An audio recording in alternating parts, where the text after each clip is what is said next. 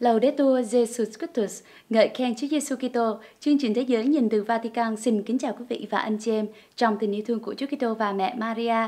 La Vi xin cảm ơn quý vị và anh chị em theo dõi chương trình này và đây là bản tin đặc biệt trong ngày hôm nay của chúng tôi. Trong 10 giám mục trẻ nhất trên thế giới, có đến 8 vị là người Ukraine. Từ rất xa khơi, người đã gọi tôi đi vào thế giới sắc gieo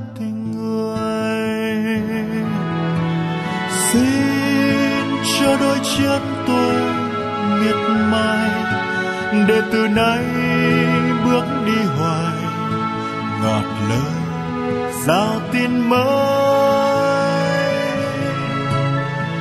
Tôi xin đôi tay giang vợi vợi, để tình thương lan khắp nơi, và vòng tay ôm chung khơi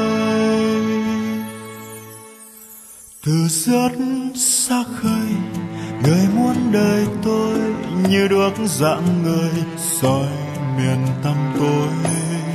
Từ rất xa khơi, người đã đặt tôi như loài muối đất ướp thêm mặn đời. Xin cho đôi chân tôi miệt mài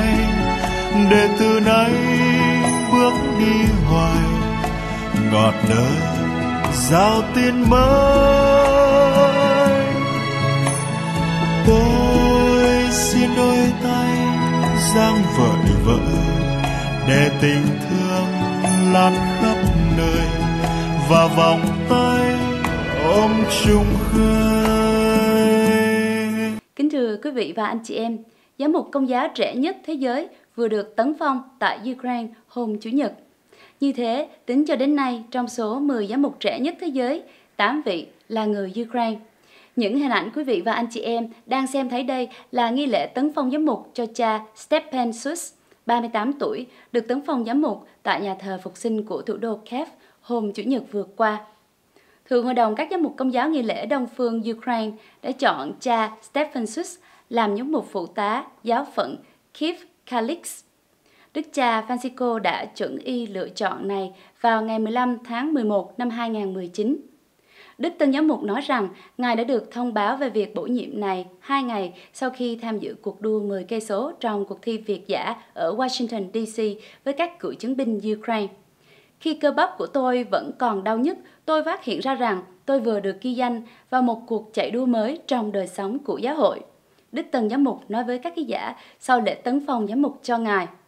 Sau khi được phong chức linh mục vào năm 2006, cha đã phục vụ như một tuyên úy quân đội.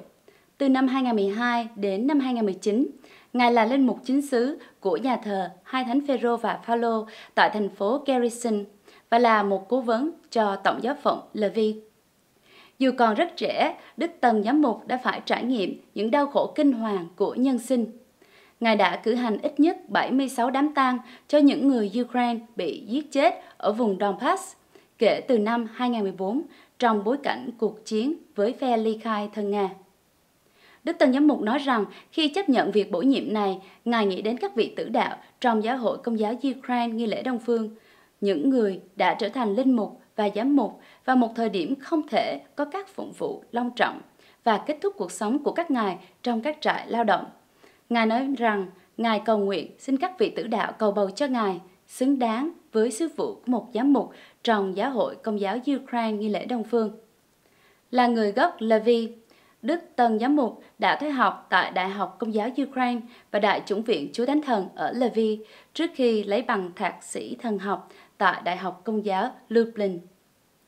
Đức Tổng giám mục Sviatoslav Shevchuk là vị chủ phong trong thánh lễ tấn phong giám mục cho Chasus. Giảng trong thánh lễ, Ngài nói, Năm ngoái, chúng ta kỷ niệm 30 năm ngày hoàn toàn thoát khỏi tình trạng hầm trú của giáo hội của chúng ta. Nhiều người trong số anh chị em là những người sống sót của giáo hội thầm lặng Ukraine, một giáo hội được Chúa bảo tồn trước sự khủng bố kinh hoàng của Cộng sản.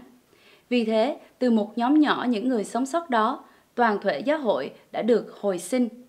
Căn cội xa xưa của giáo hội Kiev này trên bờ sông Dnieper đã tạo ra một mầm mới. Chúng ta đã bị đóng đinh và bị giết nhiều lần, nhưng cội rễ của chúng ta đang hồi sinh.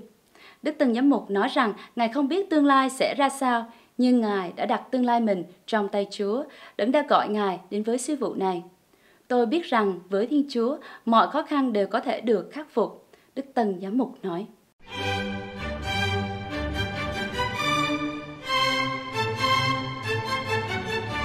Chương trình của chúng tôi đến đây là hết. Xin quý vị và anh chị em giúp phổ biến rộng rãi chương trình này đến với gia đình, thân quyến và bạn bè xa gần như một cách thức để truyền giáo. Mọi ý kiến đóng góp xin gửi về địa chỉ tv at vietcatholic.net. Xin cảm ơn và hẹn gặp lại quý vị và anh chị em trong lần phát hình tới. Laudetur Jesus Christus, ngợi khen Chúa Giêsu Kitô.